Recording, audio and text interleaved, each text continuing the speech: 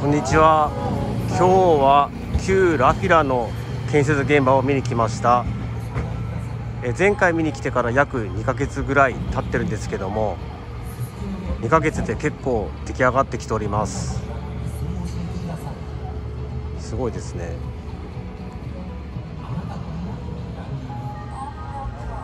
ちなみに今9時半で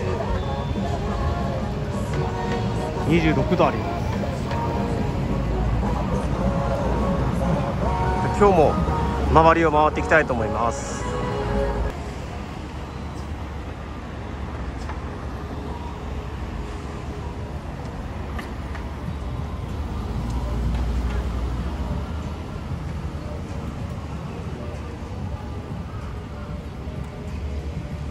あの間に挟まった店はどうなったんでしょうか？それも一緒に見に行きます。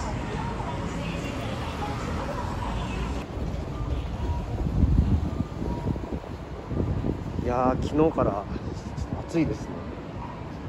はい。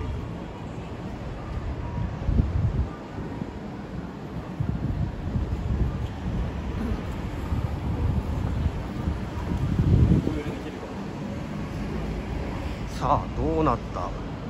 荘園今このように裏がこのようになっております。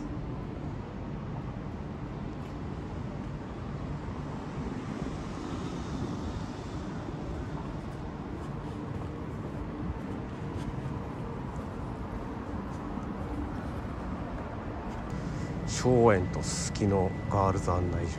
あ落ちないように上にネットが張ってますね。綺麗に収まってるな。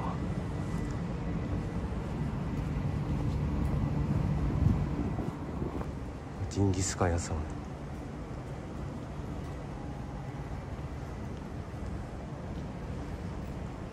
この上にはネットが張ってない。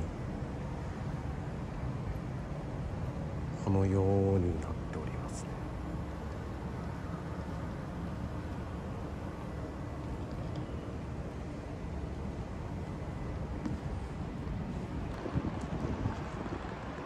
こちらが西側。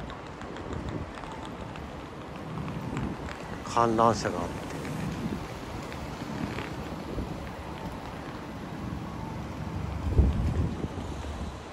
だいぶできてきたようまた定期的に観察していきたいと思います。